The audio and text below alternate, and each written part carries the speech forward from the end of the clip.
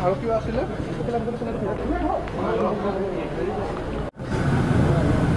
সাংবাদিক বন্ধুসকল বৰ্তমান কৰোণা ভাইৰাছৰ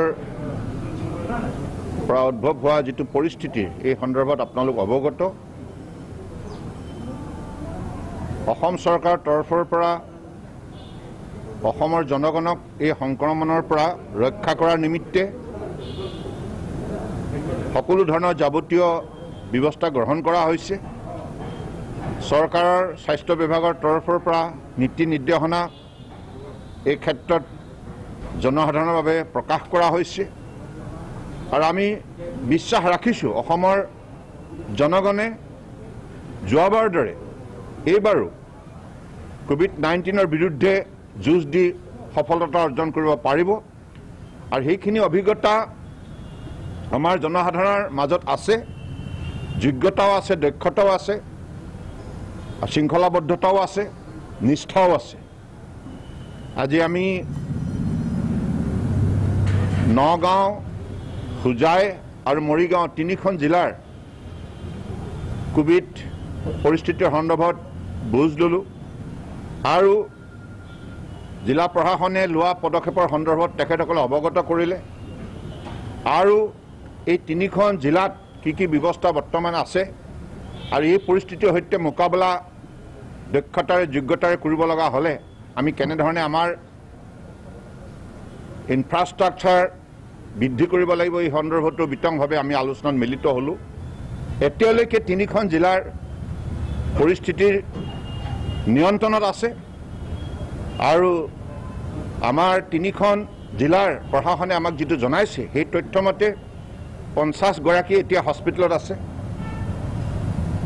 আমাৰ চাৰিগৰাকী মৰিগাঁও বাইছগৰাকী নগাঁও আৰু বাকী চৌবিছগৰাকী হোজাই গতিকে আৰু যিখিনি অক্সিজেন ফেচিলিটিজ বা আইচলেশ্যন বেড বা আই চি ইউ ইত্যাদি ইত্যাদি যিখিনি ব্যৱস্থা আমাৰ তৰফৰ পৰা লোৱাৰ প্ৰয়োজনীয়তা আছে সেই ব্যৱস্থা ইয়াত সম্পূৰ্ণৰূপে মজুত কৰি ৰখা হৈছে।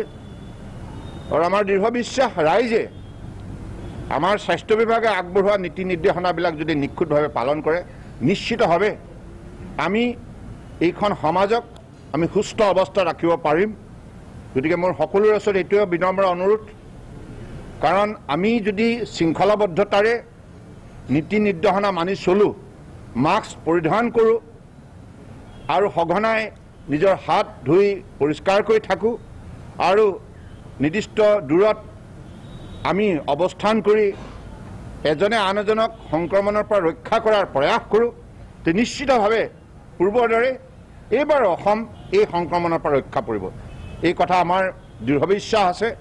মই অসমৰ ৰাইজৰ ওপৰত অগাধ আস্থাৰ বিশ্বাস প্ৰকাশ কৰি মই এইখিনি কথা কৈছোঁ। আৰু এইবাৰো মোৰ ভাবোঁ যে প্ৰতিগৰাকী নাগৰিকে এই ক্ষেত্ৰত আন্তৰিকতাৰে চৰকাৰে আগবঢ়োৱা পৰামৰ্শবিলাক নিষ্ঠাৰে পালন কৰিব আৰু সমাজখনক সুস্থ কৰি ৰখাৰ বাবে প্ৰয়াস কৰিব। আমি এতিয়ালৈকে অসমৰ জনগণক এই কথাটো বাৰম্বাৰ কৈ আহিছোঁ যে লকডাউন পৰিস্থিতিৰ পৰ্যায়লৈ নিব নালাগে সমাজখন। আৰু সেই পৰিস্থিতি যদি আমি এভইড কৰিব লগা হ'লে এতিয়াৰ পৰা প্ৰতিগৰাকী নাগৰিকে যদি শৃংখলাবদ্ধতাৰে চৰকাৰে আগবঢ়োৱা নীতি নিয়মবিলাক যদি মানি চলে মই ভাবোঁ যে সেই পৰিস্থিতি আৰু উদ্ভৱ নহয় ছাৰ মহাজোঁটে যে দাবী কৰিছে চৰকাৰ বনাব কাৰণেও তেওঁলোকে এটা হেৰি কৰি- শুনক এটা কথা। আজি এইটো ছিটুৱেশ্যনত আমি এটাই কথা কওঁ। সাংবাদিক বন্ধুসকল যোৱাবাৰ আপোনালোকেও বহুত আন্তৰিকতাৰে সহযোগিতা আগবঢ়াইছিল। আৰু এইবাৰো মই ভাবোঁ যে সাংবাদিক বন্ধুসকল আপোনালোকে এই সময়তো গুৰুত্বপূৰ্ণ ভূমিকা পালন কৰিব লাগিব আৰু আপোনালোকে জনসাধাৰণৰ মাজত এই ক্ষেত্ৰত সজাগতা বৃদ্ধি কৰাৰ কামত নিশ্চিতভাৱে আপোনালোকেও সহযোগিতা আগবঢ়াব লাগিব। মই আপোনালোককো আহ্বান জনাইছোঁ। আমাৰ সকলোৱে সমূহীয়া দায়িত্ব আছে। যোৱাকালি আমি সৰ্বদলীয় বৈঠক অনুষ্ঠিত কৰিছোঁ আৰু সেই সভাত প্ৰতিটো দলৰ প্ৰতিগৰাকী দায়িত্বশীল প্ৰতিনিধিয়ে নেতাই এই কথা কৈছে যে চৰকাৰে আগবঢ়োৱা প্ৰতিটো পদক্ষেপত তেখেতসকলে আন্তৰিকতা সহযোগিতা আগবঢ়াব আৰু নিজ নিজ দলৰ যিমান সদস্য সদস্য আছে অসমৰ বৰাক ব্ৰহ্মপুত্ৰ পাহাৰ ভৈয়ামৰ ছয়ত্ৰিছখন জিলাত তেখেতসকলে সেই সদস্য সদস্যসকলৰ মাজতো সজাগতা বৃদ্ধি কৰাৰ বাবে প্ৰয়াস কৰিব। মই সকলো ৰাজনৈতিক দলক ধন্যবাদ জনাইছোঁ। আৰু আগন্তুক দিনত অসমৰ ৰাইজৰ পুনৰ মই এই ক্ষেত্ৰত আন্তৰিকতাৰে সহযোগিতা কামনা কৰিছোঁ। ৰিজৰ্টত কংগ্ৰেছৰ যি মহা- সকল প্ৰাৰ্থী প্ৰকাৰ বিজেপিৰ হৰ্চ ট্ৰেডিঙৰ ভয়ত তেওঁলোকে লুকুৱাই ৰাখিছে বুলি এই সন্দৰ্ভত কি ক'ব? মানে গছ গছত কঁঠাল উঠত তেল বুলি কথা এটা আছে। তে সেই কথাটোৱে অসমত চলি আছে। চৰকাৰ আমাৰ হ'ব সকলোৱে জানে। মিত্ৰজোঁটে চৰকাৰ গঠন কৰিব আৰু আমি আকৌ ৰাইজৰ কাৰণে কাম কৰিম ৰাইজক সেৱা কৰিম। তেওঁলোকে এইবিলাক কিয় নাটক কৰিছে তেওঁলোকেই সন্দিহান। মইতো কওঁ যে তেওঁলোকৰ যিসকলক লৈ গৈছে যিসকল কেণ্ডিডেটক লৈ গৈছে তেওঁলোকেই নাৰাজ। কিন্তু দুই এজনে কৈছে যে অন্ততঃ শান্তি এইকেইদিন খাবলৈ ববলৈ ভালকৈ পাইছোঁ। সেইটো এটা তেওঁলোকৰ ভাল লাগিছে। হৰ্চ ট্ৰেডিঙৰ চাওক ঘৰ ষ্টেডিঙৰ কথাটো ক'ৰ পৰা আহিব? যদি আমি ছিট কম পাওঁ কিন্তু দৃঢ়ভাৱে বিশ্বাসী যে আমাৰ মিত্ৰজোঁটে প্ৰায় আশীখনৰ ওচৰে পাঁজৰে ছিটটো পাবই। গতিকে হৰ্চ ষ্টেডিঙৰ কথা ক'ত আহিলে? হৰ্চ ষ্টেডিঙৰ কথা নাহেই কাৰণ আমি বহুত মাৰ্কো কৈছোঁ। ছিক্সটি ফ'ৰ আমাৰ যি হাফৱে মাৰ্ক তাতকৈ বহুত ওপৰত থাকিম।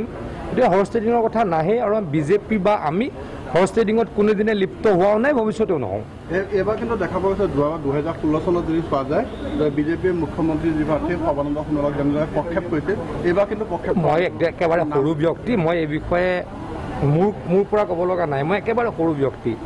দলে যি সিদ্ধান্ত ল'ব আমি সকলোৱে জাগিৰ ইলেকশ্যন জিকিম। দুই তাৰিখে কম পাম তথাপিতো জিকিম বুলি ভাবোঁ। ঠিক আছে।